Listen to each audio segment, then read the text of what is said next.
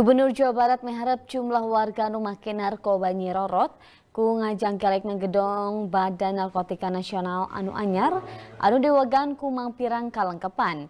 Pihak nage bakal ngkolahkan pelatihan di Dinas Kesehatan sangkan warga nu ngagunakeun narkoba bisa asesmen atau pangapingan anu maksimal.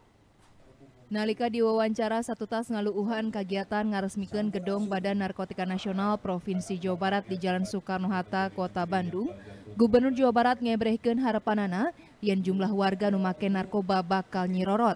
Sokomo, standar kabutuh BNN di eta gedong kawilang nyukupan, kawas klinik, laboratorium rehabilitasi, tepi rohang tahanan.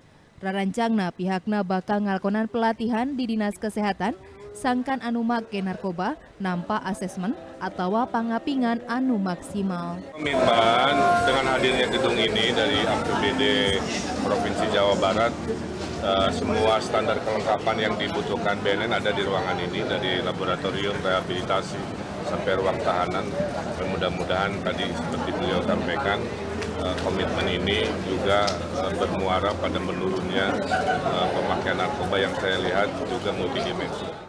Sajeroning itu Kepala BNN Republik Indonesia Komjen Pol Heru Winarko nembraken BNN nampak anggaran APBD Jawa Barat anu niti hiji koma opat triliun. 40 persen diantarana digunakan ke balanja. Pihak nage nyorang koordinasi jeng gubernur ke naratas 15 kampung narkoba di Sakulia Jawa Barat anu salapan diantarana pernah nak di Depok sangkan mual kajirat ku narkoba. Ada 15 15 ada di Depok dan lainnya tersebar ada di beberapa tempat. Jadi dibicarakan, ya dibicarakan dengan Pak Gubernur bagaimana kampung-kampung ini bisa kita garap bersama-sama kita kembalikan ya menjadi kampung-kampung yang ya seperti tempat-tempat yang lain. Saestuna BNNG diajar di negara Kolombia jeng Thailand patali jeng tarekah ngurangan jumlah warga anu ngedarkeun sarta ngagunakeun narkoba di sakuliah Indonesia utamana keur ngurangan konsumsina. Heru meredih pihak kula warga anu anakna kajeret narkoba sangkan sukarela ngadegdeg ka BNN keur direhabilitasi.